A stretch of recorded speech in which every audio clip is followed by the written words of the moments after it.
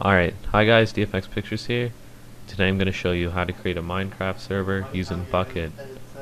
Alright, now the first thing you're going to want to do is open up your internet browser. And go to bukkit.org. Now that you're at the website, you're going to want to download the latest recommended build.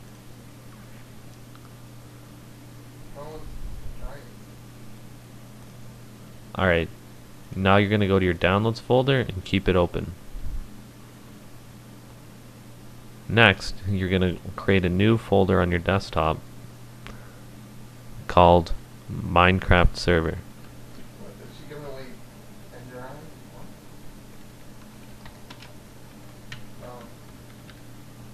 Alright, now in this new folder, you're going to put what you've downloaded from bukkit.org.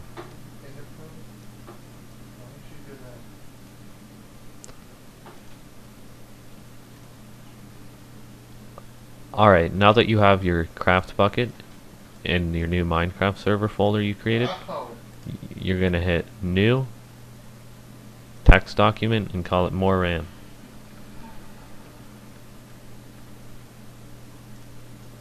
Alright, now you're going to open up that text document, and you're going to copy and paste this from the video description. Alright, now there's a couple of variables here if you're using 64-bit then you're just gonna get rid of the brackets in the x86 and if you're using 32-bit just leave it alone. If you don't know just leave it alone. Alright so now right here these between these numbers is how much RAM you want to use. I'm just gonna keep it at half a gig because that's all I want to use alright also by the time you probably watch this video the title's gonna change so what you're going to do is you're going to delete this. You're going to go to your actual Craft Bukkit server. And you're going to rename, copy,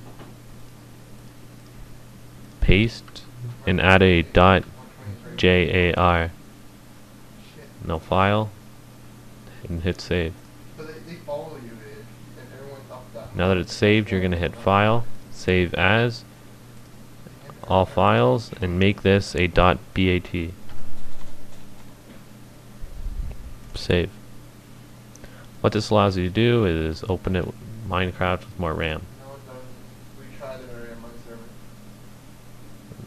So now that you're able to open Minecraft with more RAM on here, you're gonna change some of the server properties.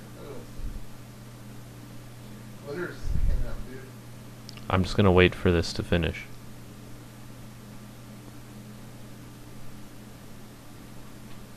Alright, now that it's finished, I'm going to close it. Okay, now, you, now you're going to open server properties. So just right click on it and go to open and you're going to open it with notepad. She helps it kind of bring it back up. Alright. So now that this server port is 25565, you might want to remember that. So you might want to copy and paste it. Alright. So now that's the server IP section is blank. What you're going to put in here is your actual internal IP address. Uh, if you don't know your internal IP address, this is how you can find it out. Hit start. CMD, and hit enter. Alright. Now you're going to type IP config. And what you want to type in there is your. IPv4 address. So I'll type in mine right now. It's top secret, no one knows about it.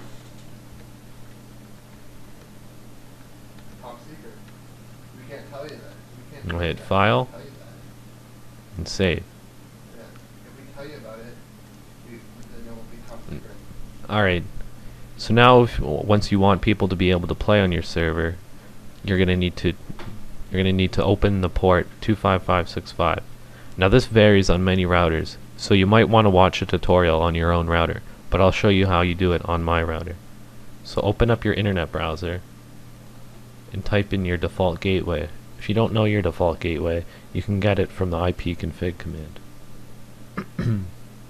So I'll type mine in.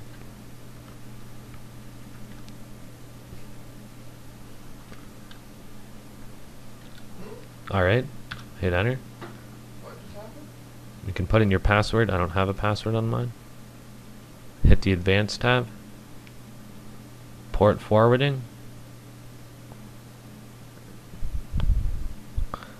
Put in the name you want. I have Minecraft as the name. I have my IPv4 address. And I have the and I have the ports I want open, which is 25565 and 25565. Uh, then you're gonna hit save settings in most routers it will be required for you to have a reboot. I'm not going to reboot because I don't want to have to restart this video. Alright, so now that you're done that, and your port's forwarded, people will be able to connect to your server. So now what you're going to do is you're going to open up your Minecraft server with the more RAM.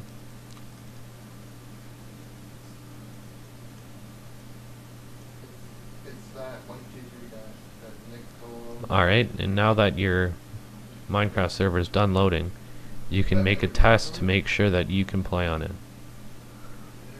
Alright, so you're going to open up your own Minecraft client.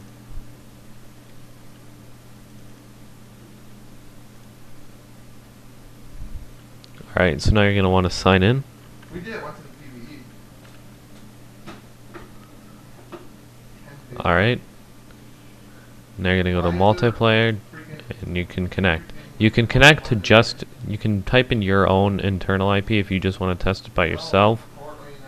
But in order for other people to test it, you're going to need to send them your external IP. Now, if you don't know your external IP, it's as simple as looking up what's my IP in Google, and it will tell you. I'm not going to do it because obviously I don't want to show you guys my IP, but I'll just type in my internal one so you can see that it works. Do it.